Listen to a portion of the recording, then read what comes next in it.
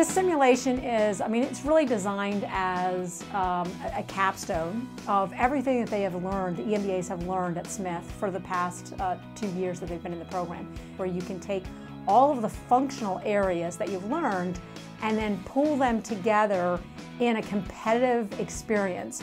So they work in teams and they basically are starting a company from the very beginning through the first two years of the company.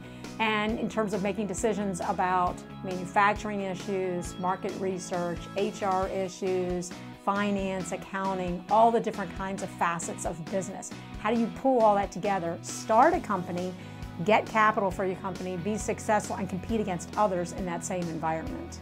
We've all worked really hard and uh, met a lot of great friends, both our colleagues, uh, fellow students, and the faculty and I think we're all going to walk away with great connections that will serve us well uh, throughout life. The first day you're excited, you don't know what's going on on Sunday. Today we're presenting, you know, it's over.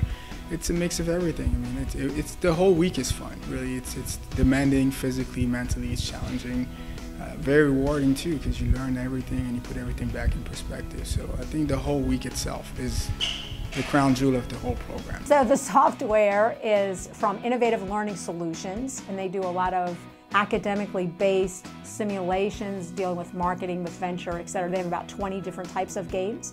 The one that we're using, uh, International Corporate Management, is, we fondly call it the marketplace game, but it's one of their highest level, uh, very complex game that of course you would have to use after people have experienced like 19 months in a program of functional areas. This is the most fun day of the most fun week of the year, at least for me.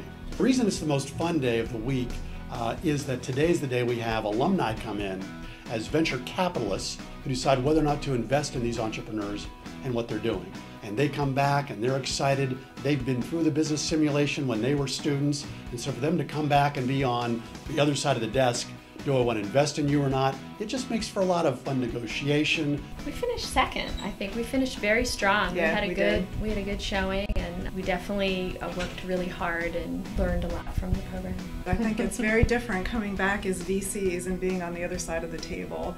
It's a great learning experience for students, uh, not only to see how the process goes, but to learn what's really important as opposed to just all the numbers. It's how do you put those into a great story? Because that's what's needed in the business world. So this is a great way for them to learn it. We have um, what many people know as, uh, as a balanced scorecard. So there's both short-term and long-term performance metrics.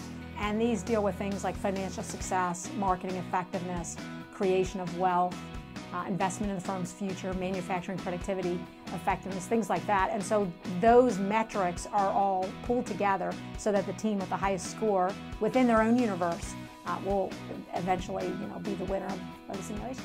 This is the most uh, difficult thing that I've ever done in my life, but the most rewarding at the same time.